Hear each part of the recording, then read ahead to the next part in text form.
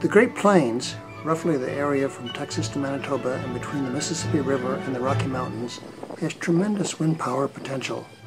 the U.S. National Renewable Energy Laboratory estimates that the steady winds blowing across the American Midwest could generate about 10 million megawatts of electricity, or about 10 times the total current installed capacity from all sources.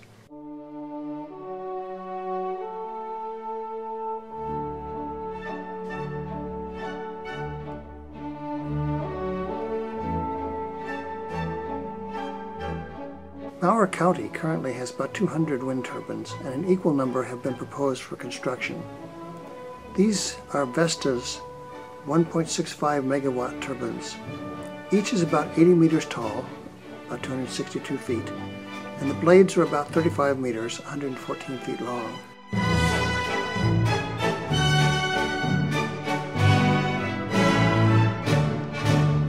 Wind is the fastest growing energy source in the U.S.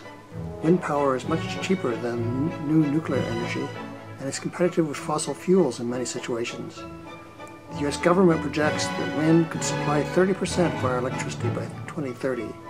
That would provide about 500,000 jobs, supply $1.5 billion to local communities, and reduce the burning of fossil fuels by about 15%. The Prairie Star wind farm generates about 100 megawatts of electricity, or enough to power 28,000 Minnesota homes. Because each turbine occupies only about a quarter of a hectare of land, up to 90% of the land between the turbines is still available for farming. Landowners typically receive about three to five thousand dollars per year in royalties for hosting a single large wind turbine.